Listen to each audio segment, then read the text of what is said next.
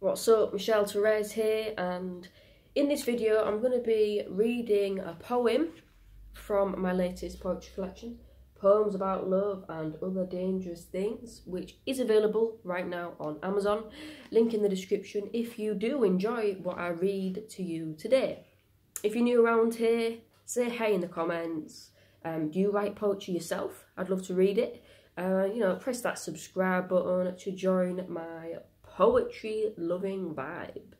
Um, so yeah, this poem, briefly, I wrote it after a relationship breakdown um, with a woman. I knew that it wasn't going to work, but it's this poem is is it's about the cycle I got myself in, you know. Um, but let me know what you think, what it's about in in the comments, because you know poetry is really it's individual, isn't it? So yeah, this is called The Usual. The Usual. We met online on a dating site. Tan skin, dark hair, my type. We had chemistry, a real connection, I kept telling myself, because we spent so many hours together on Skype. Two months later, I asked her to be my girlfriend after a two hour animalistic shag.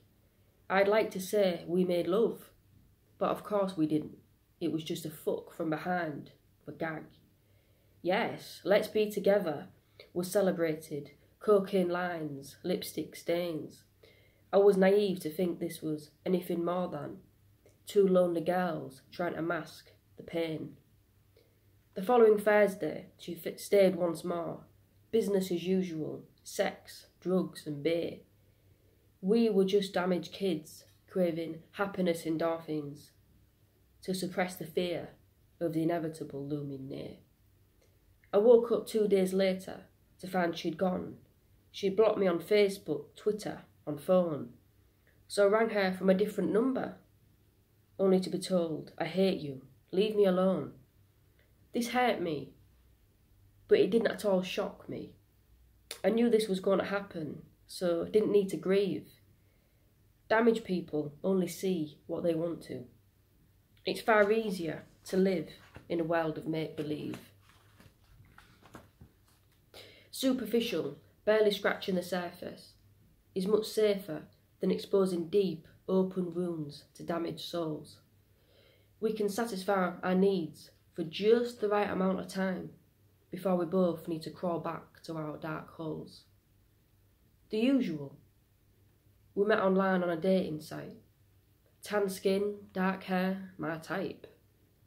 Within two months, we were together. Within three, she was gone from my life. So yeah, that was the usual from this poetry collection, available now on Amazon.